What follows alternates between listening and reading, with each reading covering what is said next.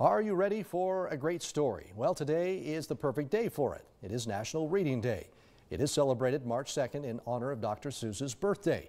But librarians say this is a great time for kids of all ages to get lost in a book.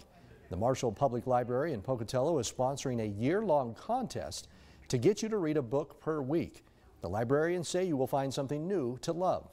So the awesome thing about this quest is that it gets you to expand your horizons. You might read a genre or a type of book that you have never read before, or you might be introduced to ebooks or audiobooks. Trying something new is the whole idea behind this quest of adventure. For more information about the contest, you can contact the Marshall Public Library in Pocatello. They say there are some great prizes at the end.